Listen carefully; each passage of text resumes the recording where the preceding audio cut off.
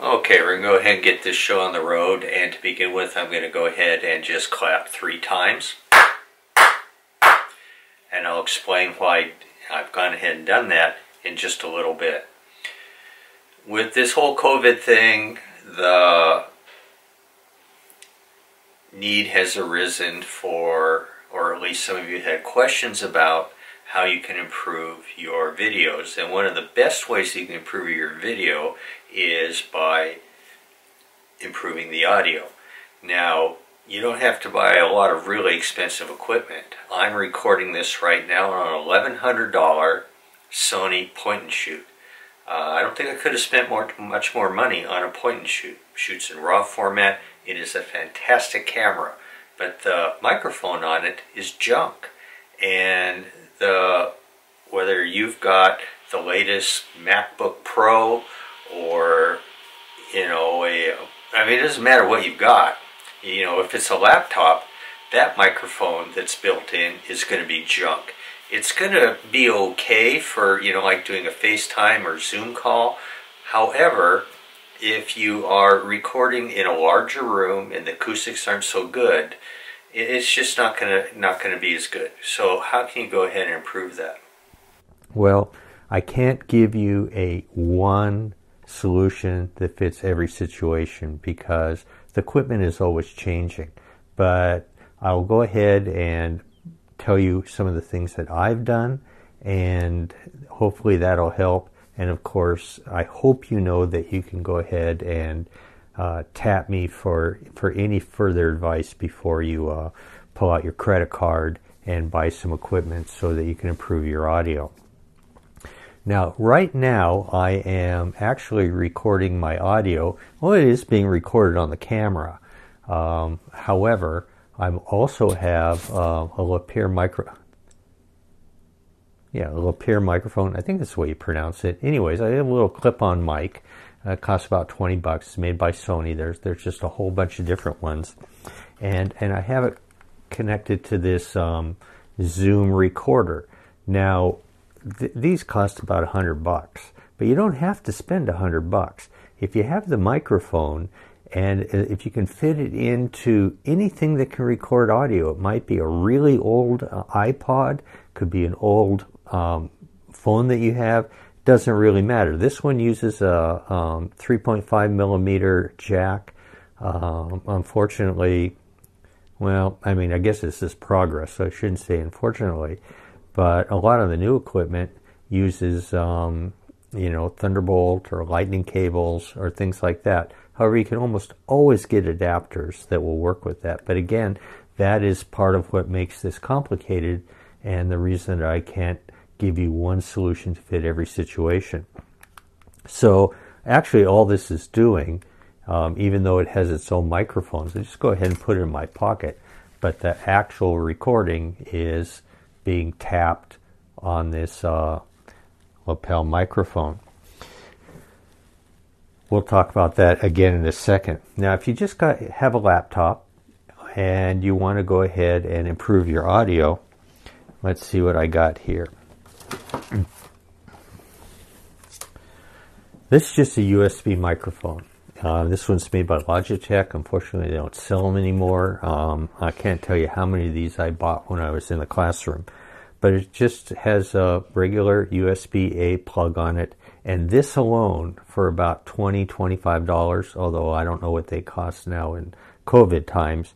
But just a simple USB microphone like this that you can set on, you know, on your desktop or just to the side that can pick up your audio as opposed to what your laptop can pick up, this will be a huge improvement. And any video recording that you do with your laptop is going to automatically be synchronized. So this is a very simple solution. What else have we got here?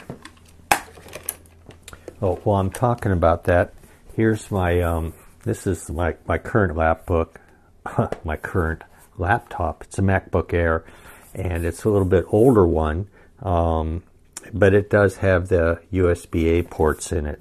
It has a couple of them, and it also has a Lightning port in it. So I do have that option. However, I just bought um, a, a, new MacBook Air for the lovely Mrs. Westland, and hers does not have any USB um, A ports on it. They are USB C ports or Thunderbolt ports. And so, again, you know, it, it's how you kind of connect all this stuff together that can make this just a little bit more complicated. But don't let that deter you. Just go ahead and tell me what you got, and I'll send you some suggestions on what'll work.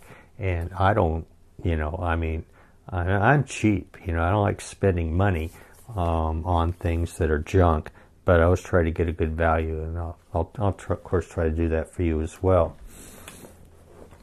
Um, over my desktop here, um, this is what I use for my screencasts. This is um, a cardioid mic, um, and I have it, it comes down into a USB interface down here.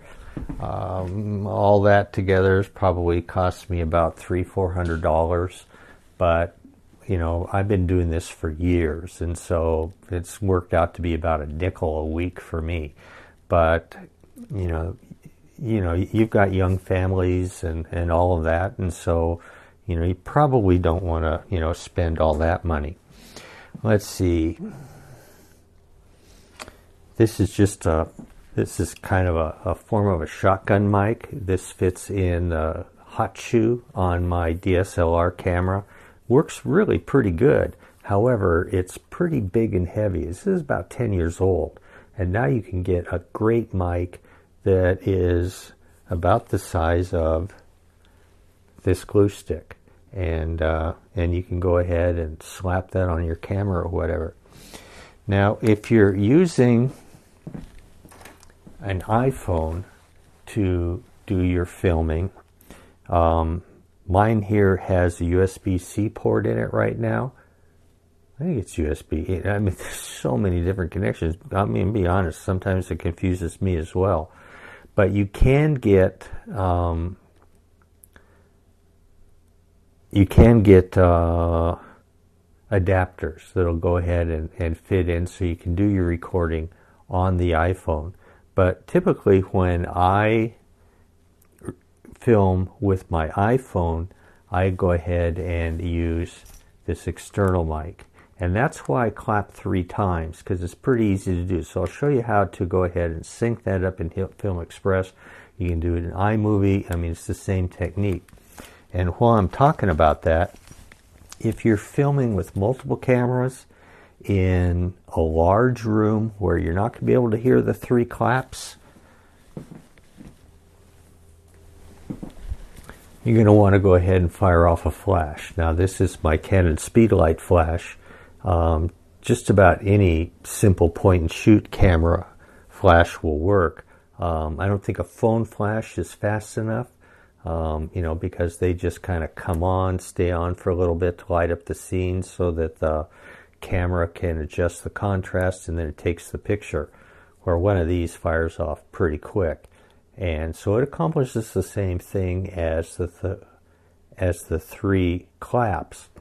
Um, so that's, you know, so that's good. So let's see if I got any other stuff I want to show you.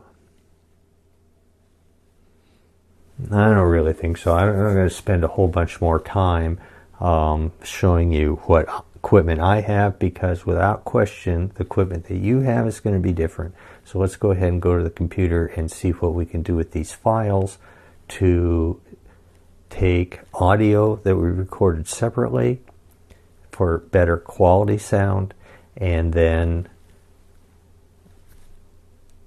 match it up with uh, with the video that we recorded. So here I am in HitFilm Express and I've gone ahead and imported the video footage which also includes the audio from my Sony camera as well as the camera or excuse me as well as the audio with my lavalier mic using my Zoom microphone. But again, it, it could be anything. I just want to show you how to tie them together. So I'm going to go ahead and pull this over first. And it says it's different, blah, blah, blah. Yeah, that's fine. And really what I want to do is find those three claps.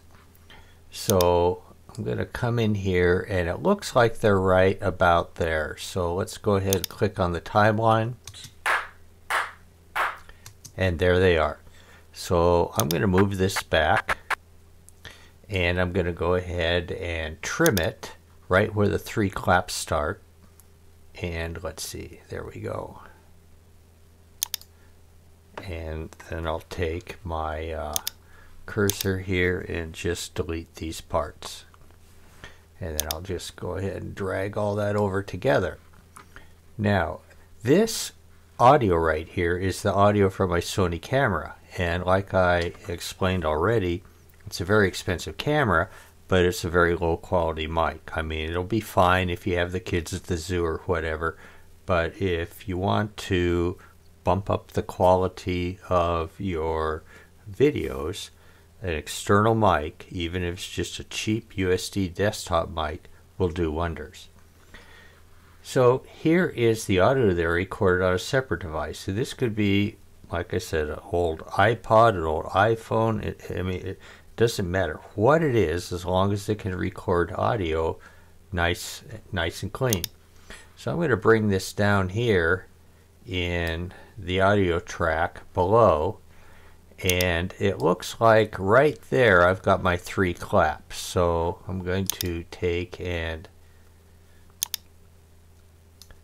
turn down this audio from my Sony camera. And I'm going to come to about right here in my timeline and listen what I have. Times. Yep that's it. So let's see. I'm going to go ahead and use my trim tool to trim right about there. And then use my select tool and I'll delete that. And then I'm going to move this over. And they look pretty close, so let's go ahead and zoom in tighter. So that we get real close here. So uh, there you can see a clap, there you can see a clap. So I'm going to go ahead and select on this clip and trim it maybe right about there. And then delete this little section. And this section up here as well. And then I'll slide them over and I think they're probably pretty close. So how close do they have to be? Well, we're not Milli Vanilli here, and you probably don't know what I'm talking about there because you're younger than me. But uh, as long as the lips sync up with the audio, that's probably going to be good enough. So we'll just go ahead here and bring come back to the beginning of our timeline and hit play and I can see right there that my claps are great. So, what do you do now? This audio track right here in HitFilm Express is the audio that my Sony camera captured. And it has all the background noise, it has the distortion from being far away from the mic, has all of that incorporated in it.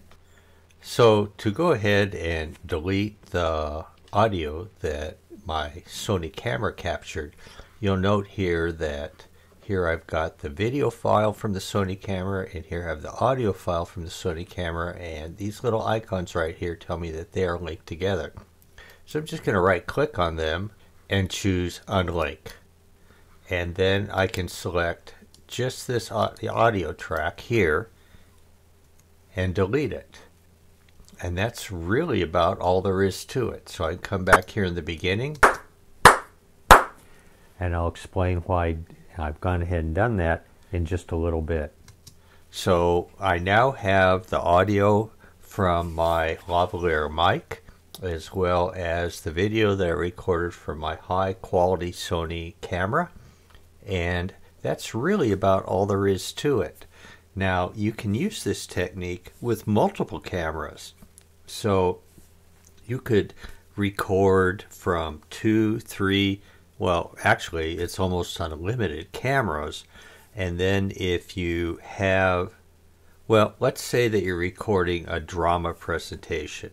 What I would do would be to take and set up a quality microphone up at the center of the stage that could record the production. And then I would take and have my two or three cameras set up, however many you want, doesn't really matter. It's practically unlimited. And then I would go up to the front of the stage, turn on all the cameras as well as the sound recording device, and then instead of clapping three times, although you might as well go ahead and do that as well in case the camera microphones don't pick up the audio, I would just go ahead and fire off a strobe flash of some sort. And then be sure that you just let the cameras roll. You don't want to start or stop them. Just let them roll continuously. And then when you're all done, go ahead and shut them off. They don't have to be shut off at the same time, but go ahead and shut them off. And then bring those video tracks in and you can add as many video tracks as you want to HitFilm Express and then bring in your audio track take and synchronize all of the video tracks with the audio track based on the flash or the claps and then go about editing. Add your transitions and you'll have an awesome production